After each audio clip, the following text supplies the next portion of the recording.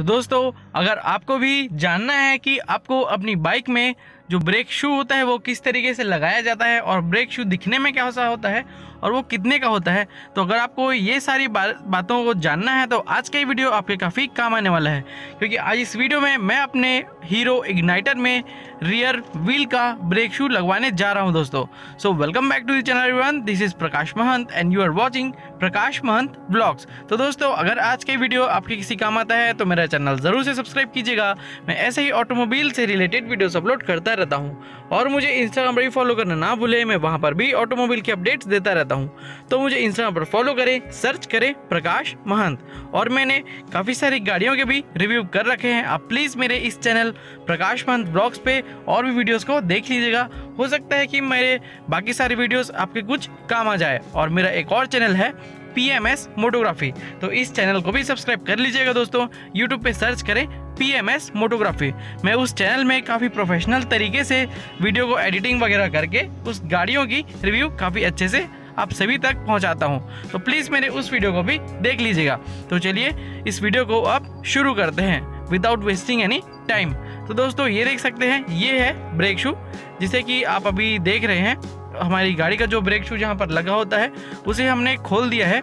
Actually मैं इसे mechanic के थ्रू करवा रहा हूँ और ये देख सकते हैं, ये है इसका ब्रेक शू तो कुछ इस तरीके का दिखता है ब्रेक शू इसे मैंने ख़रीदा है लगभग हंड्रेड एंड ट्वेंटी रुपीज़ का।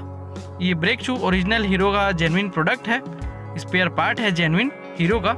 रेड कलर की इसकी पॉलीथीन आप नीचे देख रहे होंगे ज़मीन पे। ये जेनविन प्रोडक्ट है। तो ये देख सकते हैं, यहाँ पर कुछ इस तरीके से इसे लगाया जाता है दोस्तों। काफ़ी अच्छे से यहाँ पर फिटमेंट की जाती है। और ड्रम रबड़ भी होता है इसमें चेंज करवाने के लिए।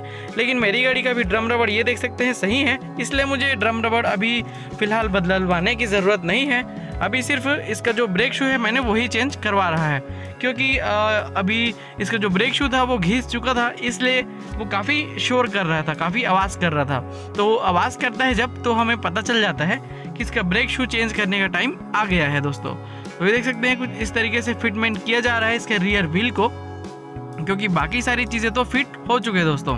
तो बस इतना ही रहता है, और इसका जो चार्ज था वो हंड्रेड एंड ट्वेंटी रुपीज़ का आया, जो ब्रेक शू का प्राइस था जेनविन प्रोडक्ट है हीरो का, और जो लेबर चार्ज था, उन्होंने मुझसे फोर्टी रुपीज़ लिया इसे फिट करने का। तो आप प्लीज़ इसे अगर फिटिंग करवाते हैं तो फिटिंग करवाने के बाद एक बार गाड़ी को टेस्ट ड्राइव करने के बाद ही लेबर को पैसा दीजिएगा। ताकि अगर आपको काम मज़ा आए कि नहीं, और कुछ भी आपको उसमें नेगेटिव्स लगे तो उसे जल्दी से जल्दी ठीक करवा लें। क्योंकि ये टायर जो है, वो एक गाड़ी का बहुत ज़रूरी हिस्सा होता है दोस्तों। टायर के बलबूते पे ही गाड़ी चलती है। इसलिए ब्रेक्स पे मैं कोई भी कॉम्प्रोमाइज़ नहीं करता। इसलिए जेन्यन प्रोडक्ट ही मैंने इसके ब्रेक में लगवाया है दोस्तों। तो चलिए, आज की वीडियो में बस इतना ही। मिलते हैं नेक्स्ट वीडियो में। और अगर आज की वीडियो आपके किसी काम आया होगा तो मेरा चैनल ज़रूर से सब्सक्राइब कीजिएगा दोस्तों।